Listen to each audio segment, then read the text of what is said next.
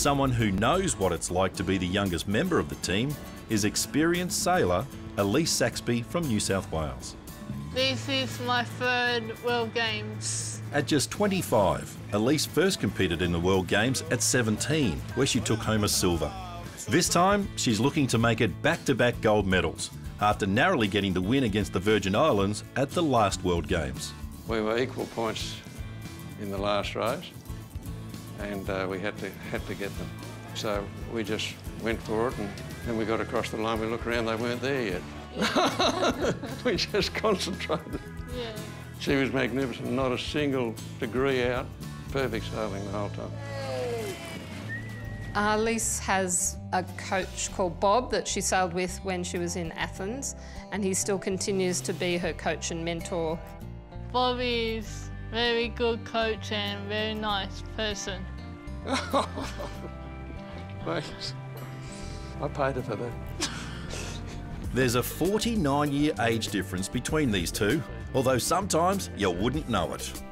Hey, Alyse, did you know it's tiger shark feeding time? Jokes aside, Alyse and Bob have a very special bond, and Bob has the utmost respect for his protege. Wide on that mark and cut in tight, okay? There's a certain time you get in sailing when you feel that um, they, they, uh, they can sense the wind and they just get the boat sweet.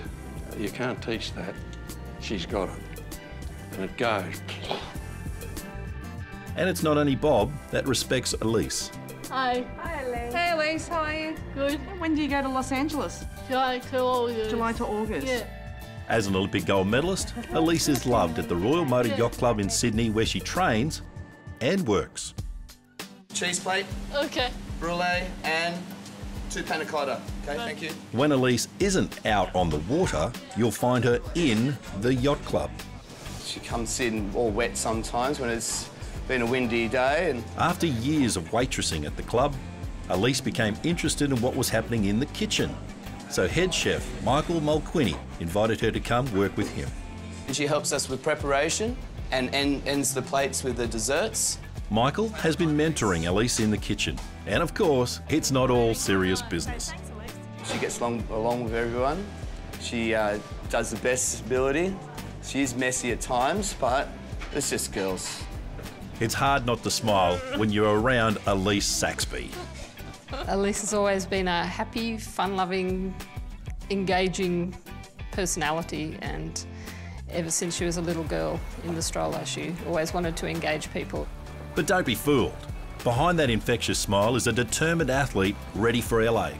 Well, Alyse will only be satisfied with bringing home another gold medal. So I certainly hope that she does that, and I know that she's put in all the effort that she possibly can, and she's there to, to bring home the gold for Australia. I know she's determined.